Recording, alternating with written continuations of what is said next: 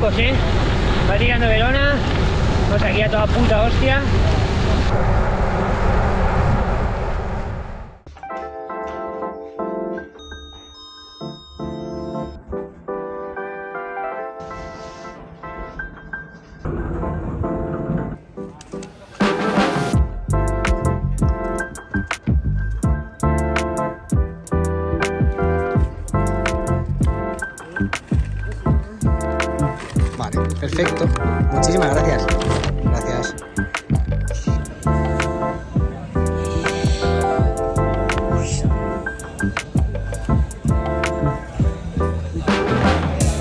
Ya estamos por aquí por la feria, estamos por Sioter, eh, ahí justamente en la parte de ahí atrás tenemos la salida, estamos a unos 10 minutos, marcha no competitiva, así que hoy me lo voy a tomar con calma. Ahí tenemos a don Alejandro, que veremos a ver si me puedo hacer con él, pero creo que está complicado, se está preparando un objetivo guapo, así que veremos.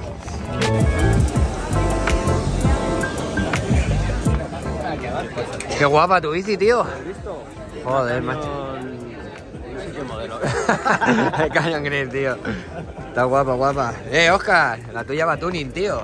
La mía es la más guapa de todas, tío. Déjate colores aburridos. No, con eso, aburrido, dice. Sí, joder, esto sí. Oye, ¿cuál es la estrategia, tío, para hoy? Es comer, beber, a rueda y el último palo aquí. Pero aquí. A tope, tío. Dice, tranquilo, dice. Tranquila. Tranquila, relaxada.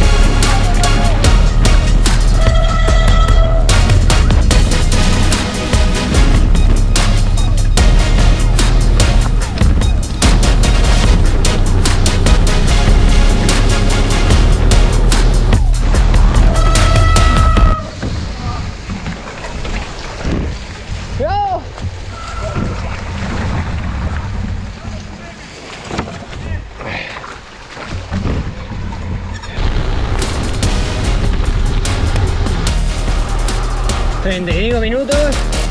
...casi 20 kilómetros... ...y aquí me he quedado solo... ...ahora llevaba el grupito aquí... ...el grupo de cabeza... ...pero lo he perdido porque... ...iba adelante... Se me han caído las gafas. Me he liado a remontar, remontar, remontar, remontar. Y cuando casi lo estoy cogiendo, justamente he pillado rueda un segundo. Había una duda de un minuto y ya me he cogido. Así que nada, voy a ver si pillo grupo por detrás y a esperar. ¡Go!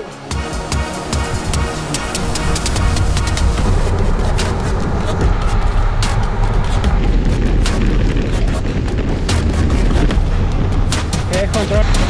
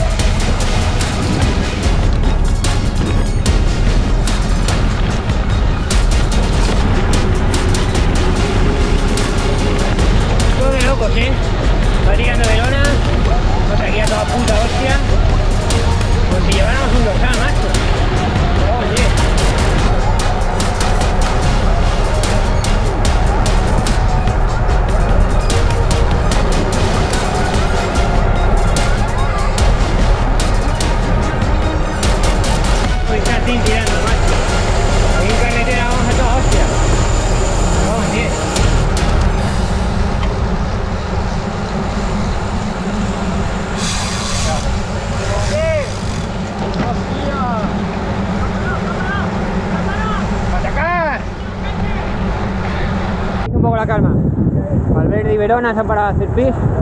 Ahora vamos a esperarles. Porque somos sus gregarios, tío. Así que cuidado, fuera. Llevamos una grupeta grande. Pero bueno, pues la primera parte es prácticamente llana. Y ahora a partir del 60 o así empiezan ya las subiditas, los repechos. Así que vamos a darle.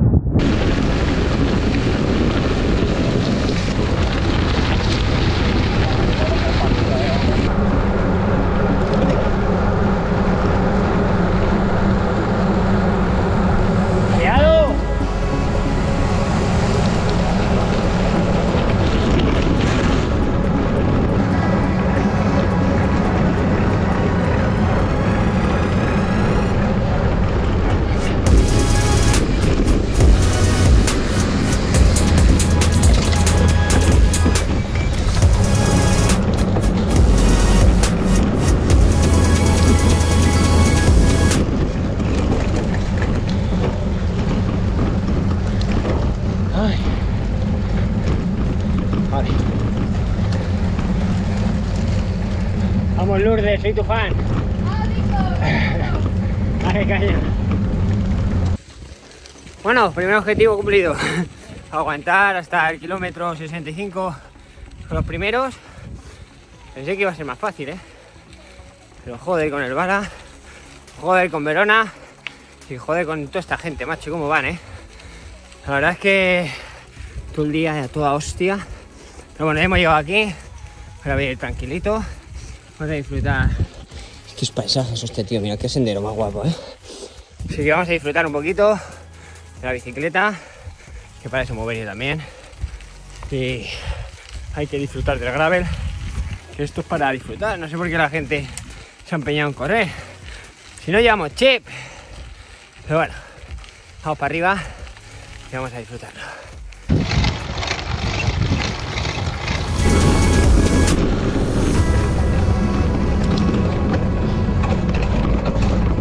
Rampas hay aquí. ¡Ay! Ojito cómo suena la transmisión. ¿eh? Madre mía.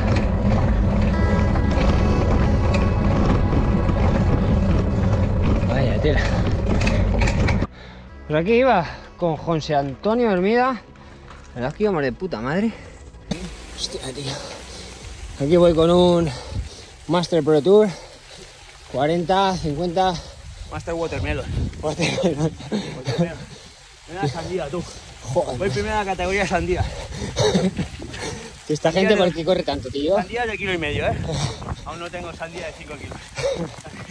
Joder. Uh. Mete el plato. Y macho, pinchado. ¿Ves? Si llevo líquido. Fijaros. Pero debería llevar líquido. Y no sé por qué no sella. Dejar así para abajo. Voy a aprovechar a ver si como un poco y demás. Y si no, pues ahora cambio la cámara. ¡Uy! Dolor de espalda. Esto del gravel es duro, ¿eh? Dios mío. Bueno, bueno, bueno. Pues me toca cambiar y poner cámara porque tengo un pinchacillo, pero soy tan inteligente que se me ha olvidado traerme una mecha.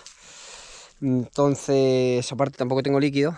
Así que nada, me toca poner una cámara y creo que voy a buscar una forma de acortar un poco porque la cadena me suena de locos y me da miedo partirla y claro, no me quiero quedar por ahí tirado. Así que nada, voy a ver si cambio la cámara y como veis, fijaros, tío. Está complicada la cosa, ¿eh? La verdad es que está guapa, de momento me lo estaba pasando muy bien. Ya había bajado un poco el ritmo, de hecho iba ahí con Hermida, íbamos charlando un rato, cuando de repente he hecho pss, y habré pillado alguna piedrecita, algún cristalito o algo. Y he pinchado, así que nada, vamos a cambiar la cámara y vamos a buscar una alternativa.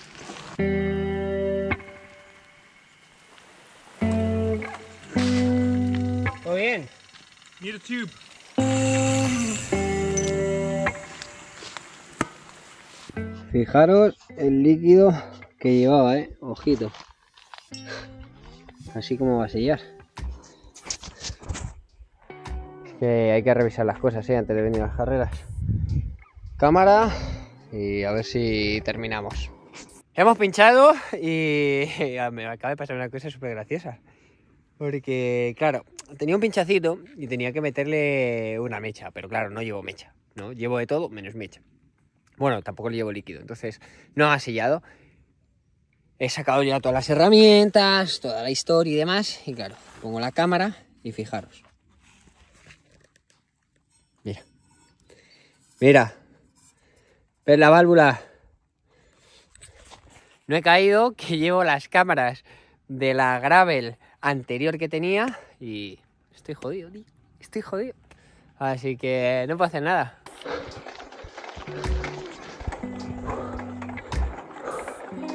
¿Sabes lo que es disfrutar de la bicicleta? Pues esto no es.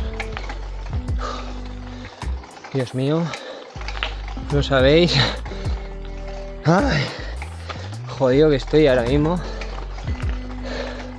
Psicológicamente, ¿eh? Me he cortado. Es que voy por aquí por unos caminos. Unas pedazos de rampas.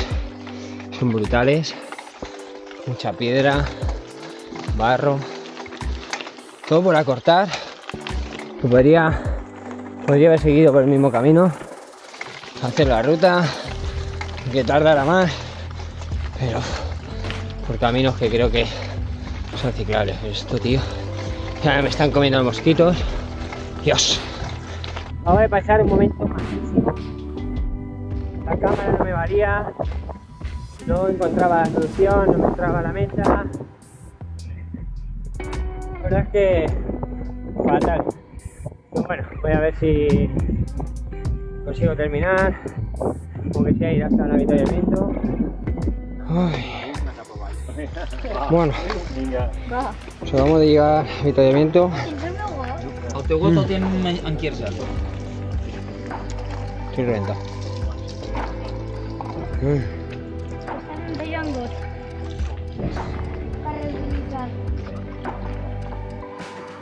Bueno, después de 5 horas y media, estamos aquí otra vez de nuevo en Girona, otra vez en joder, se ha hecho duro, ¿eh? Y como no íbamos en el track, no sabemos por dónde se va, sabemos dónde está la meta, pero bueno, vamos a ver si llegamos.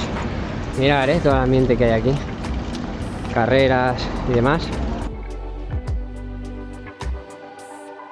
Y bueno, que la verdad es que no tenía intención de subir este vídeo finalmente porque eh, no hice las cosas bien, no hice la crónica final, pero eh, creo que es una muy buena opción para que veas eh, lo primero, lo que es el gravel o cómo viví yo el gravel, al final una carrera súper rápida, una carrera donde hubo muchísima tensión, donde fue complicado seguir el recorrido, al final era solamente eh, GPS, navegación y tenías que intuir tú por dónde tenías que ir y claro, cuando vas en grupeta eso era complicado. Y otra de las cosas también para que veas cómo sufrí eh, en esa carrera, cómo lo pasé al final. Primero, por no mirar o revisar la bicicleta, que al final fue un fallo mío. No llevar los repuestos necesarios para eh, poder solventar cualquier problema. Y tercero, la mala decisión que tuve por eh, al final acortar o intentar ir por un sitio por el que no debía ir, ¿no? Al final me puse a cortar y fue un problema. Así que nada, espero que te haya gustado el vídeo, ya sabes, dale like, suscríbete aquí abajo y espero verte en próximos vídeos. Chao.